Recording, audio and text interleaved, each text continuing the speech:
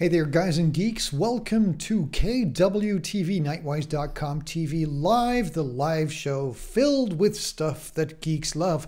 Every week, we try to talk about one certain topic that geeks are interested in, tech to tinker with, uh, books that you want to read, music that you want to listen to, a podcast that's interesting, or even we will try to dive into the archive and pull something from the yay old days uh, of the annals of the internet uh, that is very interesting. I will show you. But today we are going to do just one of those things. We're going to dive into just one of those topics and we're going to talk about a little piece of technology that has been um, tickling my fancy as of late. As you know, I'm a Linux user. I'm a cross platform geek. I just love to jump from operating system to operating system. And regardless of whatever I have in my hands, I want to do the stuff that I love. So if I use a Mac or a Windows machine or a Linux machine, I just want to have that continuum of technology following me around, allowing me to do whatever I want to get done and let technology work for me. And for the most days, that has been dragging around multiple PCs. Yeah, like for example, I have a MacBook, I have a Windows PC, I have a Linux PC somewhere, and I have been juggling these devices back and forth from, uh, you know, from the days way beyond. I think I started doing all of this in 2005. And ever since I started with Linux, which was about, I think, 2006, I have always heard the uh, cry, this is going to be the year of the Linux desktop. Yeah, it's going to be the year of the Linux desktop. The Linux desktop is really going to make it this time and it's going to go mainstream. You know what? It never did. It never became mainstream, and I have been distro hopping and platform hopping for years now, going back and forth Linux and using Linux and the desktop applications as a, well, daily driver. Uh, take a look at the website and the show. Um, how I make a living with Linux, where I talk about how I use a Linux desktop as my daily driver for my own company. What I've learned over the years is that as much attention as the Linux desktop is getting from the Linux user side, from the other platforms, the general users, mom and pop, uncle, aunt, mom, uh, grandpop, and stuff, they don't really know what Linux is, nor do they care. And this has been something that you know Linux geeks have been very, very vocal about. You know, that's can't we can't do that. That's not possible. Oh, we should have more attention to the Linux desktop. But we've come to a point where basically it doesn't matter anymore. Most of the applications have gone into the cloud, and right now we have come to a point where it doesn't really matter what operating system you're using. I mean, we used to, here at this show, uh, devote a lot of attention to the fact that you would use this application across all operating systems and it had to slide across. Well, we've come to the point where operating systems have become a little irrelevant. You know, with the cloud coming, you just open up a browser and you do what you want to do. But still, sometimes you do want to use your Linux. You do want to have a, a native system, and you can. Uh, there are plenty of options. You can have a dedicated machine, you can dual boot your machine, you can use virtual um, machines. You know, there are all kinds of ways to incorporate your Linux into your daily workflow. And as of late, with Windows 10, we got introduced to WSL, or Windows Subsystem for Linux, which was kind of like a command line kernel of Linux existing in Windows. You could actually install it as an application. Interesting stuff. Of course, now you don't need a separate virtual machine anymore. You could just run Linux in the command line, and it has been immensely popular. There was just one thing missing you couldn't run graphical applications. For that, you needed to run a full scale VM and you needed to have an actual virtual machine running. Well, with uh, Windows 11 and WSL, that is no longer required. And that's what we're going to talk about today. We are going to talk about running graphical Windows. Uh, running a graphical Windows, of course, but running graphical Linux applications on Windows using WSL, integrating both the graphical and the multimedia side into your operating system. Yes, my friends, we've come to the point where you don't actually need a virtual machine to run Linux in Windows. We're going to show you how. So let me take you to the tech you want to tinker with.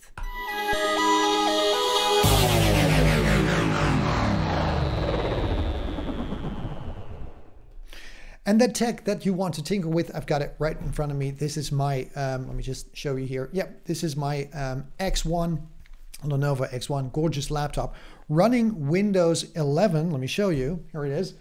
And what I started to do today was tinker around with Ubuntu on Windows, or could I say in Windows, because that's basically what it is.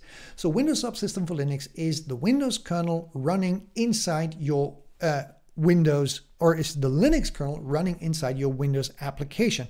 And with Windows 11, we've gotten a lot of fancy options where you can not only run a virtual machine, but that virtual machine is also integrated into your Windows Explorer. So your virtual Linux can integrate or interact with the files on your Windows machine. And as you can see here, vice versa. That's great. I mean, that's like, you know, this takes, when you're using stuff like VirtualBox, this takes quite a bit of effort, but I can browse from the Windows Explorer right into my Linux machine and take a look at all the files that are there. Like, for example, um, the, the config files. I can edit a Linux config file in Windows, which is bizarre, but that's not what I wanted to show you today. The first thing you need to do is to get that Linux into your Windows. Sounds weird, doesn't it? But it works. So we're going to start out by installing um, WSL. And for to do that, you need to go to the start menu and you need to hit the features, which takes you to turn Windows features on or off. And there are some important features that you need to have enabled before you start. And these are the ones that you need to take off. Virtual machine platform for Windows Windows Hypervisor platform, it's not required, but it helps. And of course, the most important one, Windows subsystem for Linux. So take these on, hit OK, and your Windows machine will probably ask you if you want to reboot. Once you've rebooted, it's time to install a Linux distro in Windows. And we do that using the command line.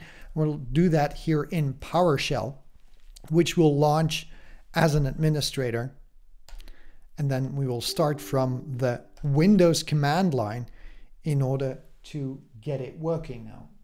Graphics won't be this great, but you will be able to follow along. Let me just quickly get my notes here. So installing WSL distributions is quite easy. You can list whatever distribution you want to use. You can download them from the store, but it's much cooler to do it from the command line. So let's do that by typing WSL space dash L dash O. And this will list all of the distributions that are on the internet and that you, that you can install right away. So you have Ubuntu, Debian, Kali, OpenSUSE, uh, older versions of Ubuntu, whatever you want to install. So we're going to do, let's say, a Kali Linux.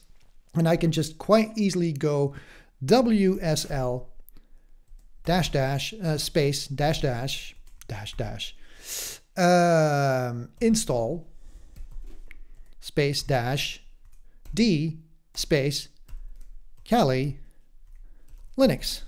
and as you can see, it will install Kali Linux straight to my Windows installation from the command line. Takes a little while, but it will install the latest version of Kali Linux that was distributed for Windows and it's the rolling distribution, so it will get continuous update. And boom, there you have it. So it's installing it, takes a little while, but it's not really long, and there you have it.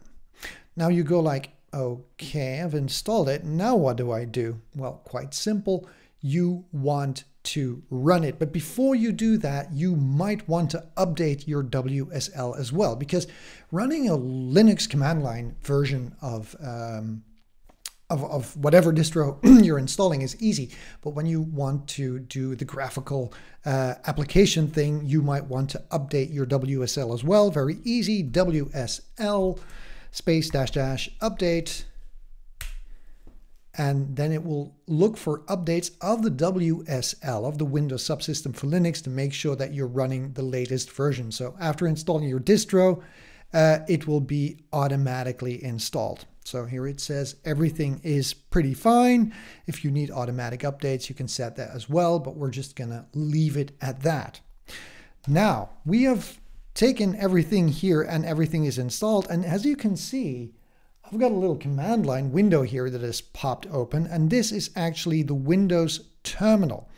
You can find the new Windows terminal over at the Microsoft Store, and this is the terminal that we're going to use to interact with our virtual machine. So you can just go to the store and type the Windows Terminal preview, uh, hit that in the search bar, hit open, and it will install, and you will get this very terminal that you can, you know, uh, make quite funky by messing around with the settings and messing around with the color schemes and messing around with all of the uh, special doodads. So you don't have a boring command line anymore. You've got like this fancy thing. So what I'm going to do is I'm going to see if I will be able to run Kali Linux. I installed Kali Linux, so I'll just hit the arrow up here, and here you see that I have different distros available. So let's see if I can, I had Kali Linux here, and which one am I running? Ah, doing something wrong. I should have stayed here because I just installed Kali Linux and now it's not here. So let's see if I can find it. Yeah, I can just find it in the start menu. There you go. Kali Linux. It's an app.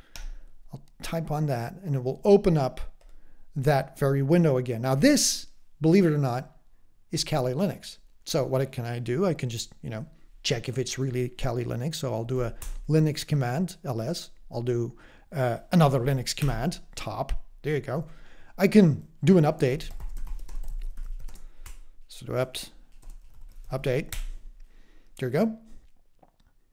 and there you go. Because it's a rolling release, I just updated the latest version and now I have everything rolling. So that's pretty cool. Now, for the next part, I've all I've shown you to install a distribution and you can just, you know, run command line apps like that. So it's not really hard, but with the new version of Kali, uh, sorry, of WSL, you can go just one step beyond. And to do that, I'll just open up my Ubuntu version here. Let me just show you where this is my Ubuntu distro and I kind of selected this using the pull down that I have here. And here you see all the distros that I installed. I can just actually open up. This is Debian. this is Linux. Uh, this is uh, Ubuntu. And this is Kali. So really weird stuff, but I can do this if I want to. So I've got my um, Ubuntu here. So let's show it some love and let's install a graphical application. So I'll go like sudo apt install. What, what are we going to install?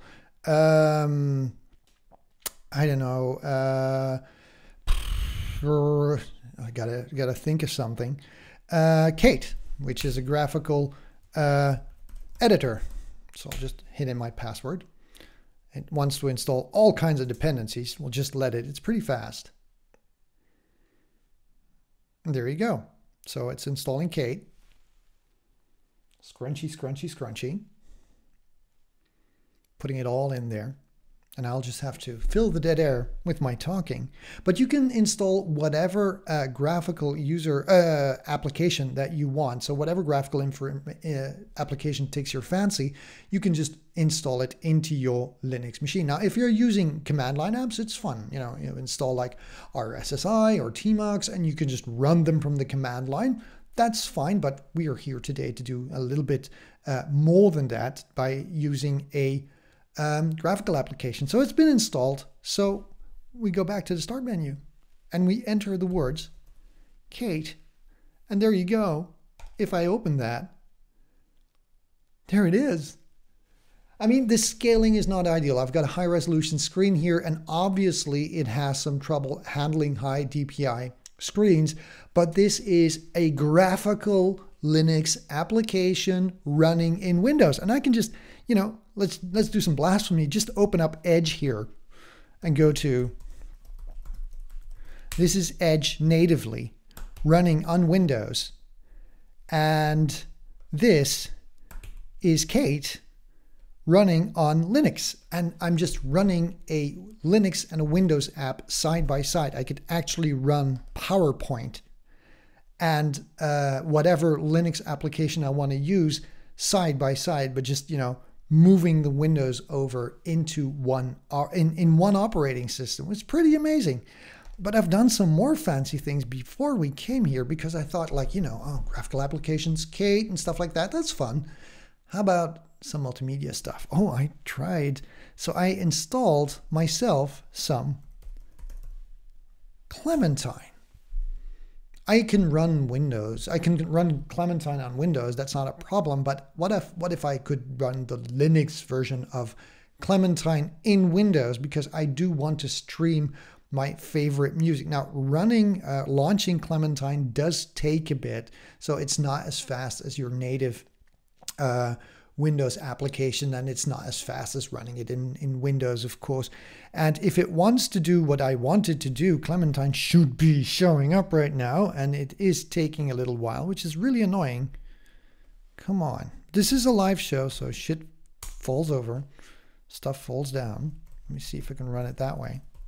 And you're going to see it's to it's to like launch it three times before it comes up. Let's just leave it rolling. In the meantime, oh, there it is. There it is. There is my Clementine. Now, check this out. Of course, Clementine's going to be launched like three times now. Just uh, multiple sessions of Clementine. So I'll go to Soma FM. Again, this is high, high DPI, so you won't be able to make out the details, but just trust me on this. I'll go to the Christmas Rocks streaming station. I'll just punch this. Let's see if it works.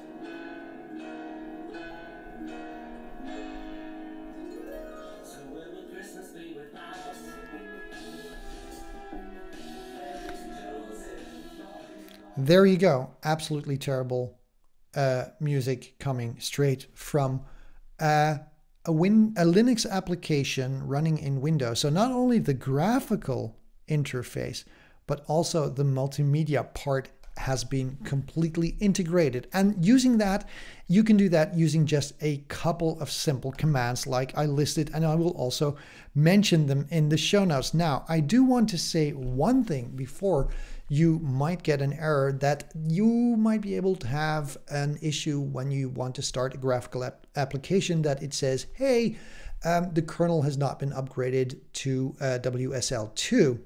I'll put a link in the comments below how you can do that. It's just a straight install of a Windows package in your Windows 10 or 11, and then boom, Bob's your uncle, and you'll be able to run graphical Windows applications uh, Linux applications with uh, multimedia support in Windows.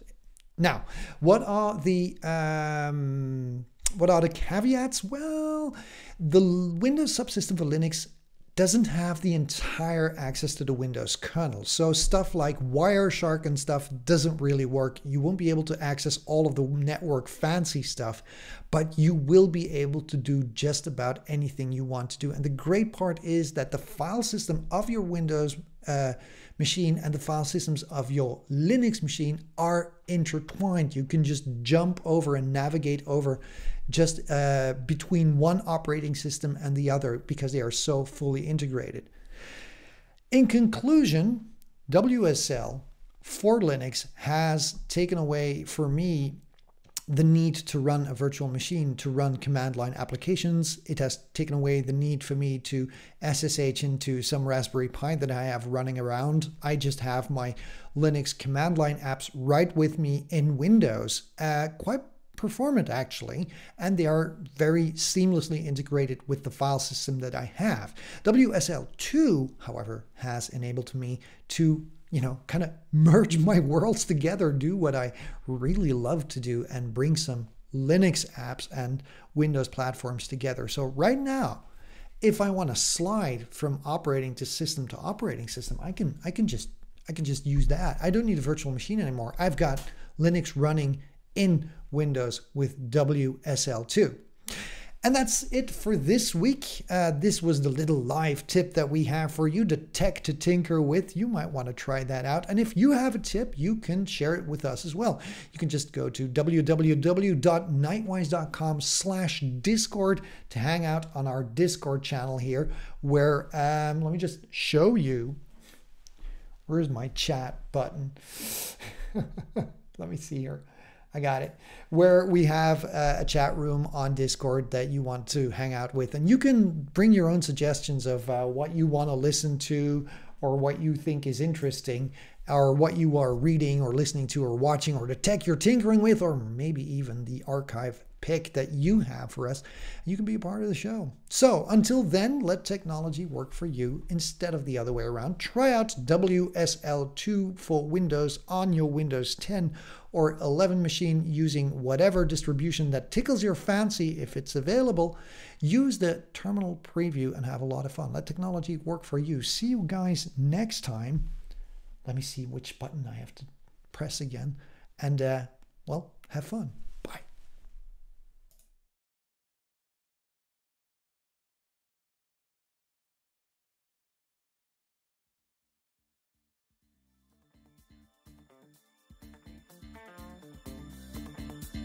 down.